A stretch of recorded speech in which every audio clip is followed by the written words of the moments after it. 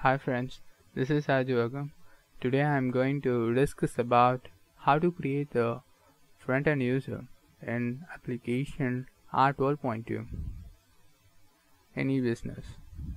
And also this activity is not your specific uh, version oriented activity. This is common for all versions in EBS and the user who is going to create another user must have the system administrator responsibility. Then only they will uh, able to create the user so here I'm going to log in as a sysadmin. So the user by default have the all privileges for managing and maintaining the EBS so I'm just logging as a sysadmin. If you have the any other user who has the system administrator responsibility just log in as just go to the system administrator responsibility tab. Under that we need to click it.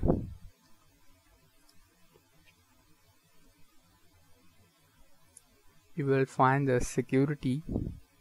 Under that you will find the user. Under that define it. So this is what the navigation we need to follow. And see the user creation wizard has been opened here. In this form we need to provide the username here and the password so first we need to enter the password and it will be disappeared. So you don't want to panic on that situation because it will be uh, asking for the uh, re-enter password. That means see my mouse pointer is there re-enter your password to verify. So it will verify the password. It's just like a confirmation of the password.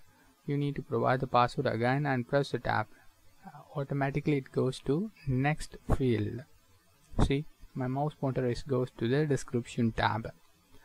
So here you will uh, give any other description as per your mail or as per your confirmation.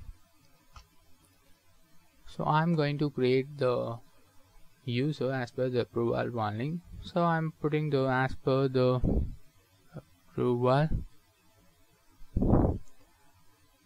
The user Smith is created.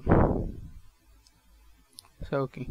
And also you will find the password expression so if I'm selecting and putting the date is fine. So the user's method is only exists for 5 days from the date of 10th Jan 2018 after that it's not the compulsory one. If you have the idea means you just put it down. And I'm going to give the responsibilities here the responsibility tab is there. The responsibility you will find in the home page.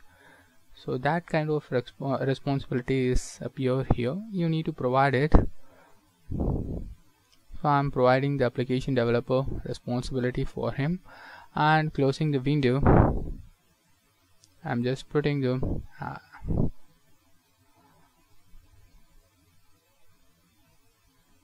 so I'm already logging as sysadmin first. I need to log it out. So I'm log it out and login as Smith the new creation of the user that is called as a test user problem. So I'm just logging as Smith and providing the password what I put there. So you have to provide to your uh, team members for that because then only they will uh, create the pa password for them. Uh, for the first time accessing the user it will be re-enter or recreate the password here as per the user idea no? as per the user idea the uh, user has been created. So see the user's method is there and the responsibility what we provide is already present here so we can able to access the responsibility here. And we can able to monitor the user with the help of the sysadmin user. So the user access is generated successfully. And